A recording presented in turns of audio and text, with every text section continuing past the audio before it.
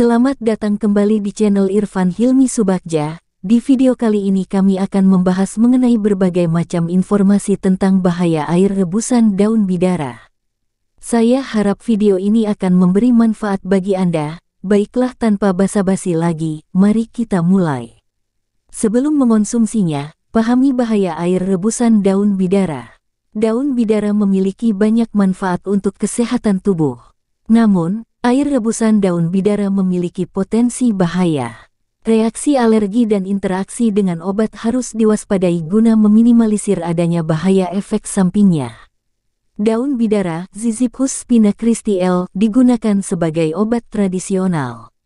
Daun bidara memiliki khasiat antioksidan, antiinflamasi, antimikroba, antifungi dan mencegah timbulnya tumor. Air rebusan daun bidara merupakan ramuan herbal yang sering digunakan sebagai obat tradisional masyarakat Indonesia. Daun bidara dipercaya memiliki khasiat untuk mengatasi berbagai macam penyakit, seperti demam, flu, sakit kepala, dan gangguan pencernaan.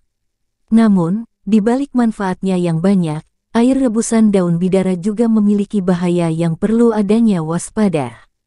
Terkait dengan manfaat daun bidara dapat membaca mengenai manfaat dari daun bidara. Bahaya air rebusan daun bidara. Daun bidara mengandung senyawa kimia berbahaya seperti saponin dan glikosida. Senyawa-senyawa ini bisa menjadi racun bagi tubuh jika memakannya dalam jumlah yang berlebihan. Air rebusan daun bidara yang terlalu kuat dapat menyebabkan mual, muntah, sakit perut, dan diare. Selain itu, jika daun bidara yang mengandung kadar toksin yang tinggi dapat menyebabkan kerusakan pada hati dan ginjal. Penggunaan air rebusan daun bidara juga dapat menyebabkan reaksi alergi pada beberapa orang. Gejala yang muncul dapat berupa gatal-gatal, ruam pada kulit, dan pembengkakan pada area yang terkena. Jika terjadi reaksi alergi yang parah, dapat mengancam jiwa penderita dan memerlukan penanganan medis segera. Selain itu, Penggunaan air rebusan daun bidara pada wanita hamil dan menyusui tidak merekomendasikan. Beberapa senyawa kimia dalam daun bidara dapat berbahaya bagi janin dan bayi yang sedang dalam masa tumbuh kembang. Jika ingin menggunakan daun bidara sebagai obat, sebaiknya konsultasikan terlebih dahulu dengan dokter atau ahli kesehatan.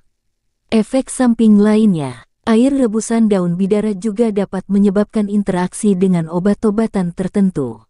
Beberapa obat seperti aspirin, warfarin, dan obat penurun tekanan darah dapat bereaksi dengan senyawa kimia dalam daun bidara dan menyebabkan efek samping yang tidak ada harapannya. Oleh karena itu, sebelum menggunakan air rebusan daun bidara, sebaiknya konsultasikan terlebih dahulu dengan dokter atau apoteker mengenai interaksi obat yang mungkin terjadi. Ekstrak etanol daun bidara juga memberi pengaruh pada gambaran morfologi yaitu pada warna dan berat basah hati mencit serta adanya kerusakan histopatologi. Selain efek samping yang penjelasannya sudah di atas, penggunaan air rebusan daun bidara yang tidak tepat juga dapat membahayakan lingkungan. Jika konsumsi daun bidara tidak berasal dari sumber yang terpercaya, dapat membahayakan lingkungan karena daun bidara dapat mengandung pestisida dan bahan kimia berbahaya lainnya. Oleh karena itu, sebaiknya menggunakan daun bidara yang berasal dari sumber yang terpercaya dan memperhatikan proses pengolahannya. Dari penjelasan tersebut telah terbukti bahwa jika kamu ingin mengonsumsi air daun bidara penting untuk diperhatikan takarannya.